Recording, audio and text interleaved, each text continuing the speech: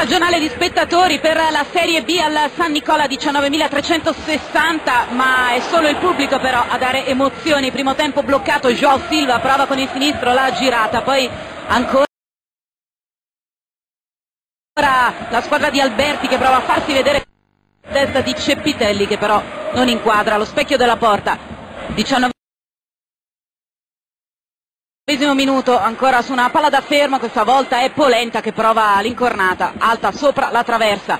Nessun problema per Achille Coser poi Calderoni prova a metterla al centro qui invece Coser se la ritrova tra le braccia sempre sul colpo di testa dell'attaccante portoghese. Ancora una punizione di Polenta ancora la girata di Ceppitelli Fa, prova a farsi vedere anche il Cesena. Fine primo tempo il colpo di testa di Emanuele Cascione, c'è la risposta da parte di Guarna.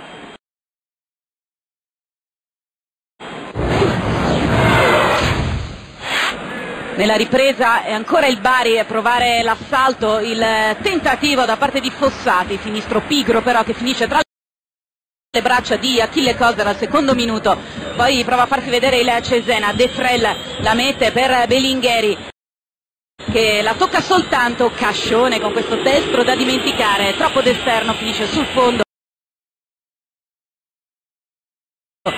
Anche in questo caso nessun problema per il Bari. De Frel, uno sicuramente dei più attivi insieme ad Alessandro, palla dentro per Rodriguez che tutto solo fallisce la possibilità di far portare in vantaggio il Cesena. Poi i Bari che nel finale ci prova con Galano entrato ha cambiato un po' le sorti della gara. E soprattutto questo destro da parte di Sciaudone anche lui è entrato nella ripresa era influenzato è partito dalla panchina. Lo stesso Defendi prova con questo destro a impegnare Achille Coser Bari che non trova il vantaggio. Nel finale succede un po' di tutto ma soprattutto la grande occasione proprio per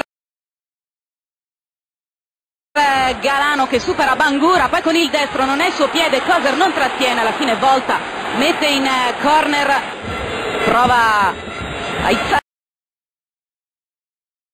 il pubblico Galano, poi su questo pallone che vaga in area di rigore c'è Edgar Ciani che sbaglia così, il gol dell'1-0 finisce 0-0.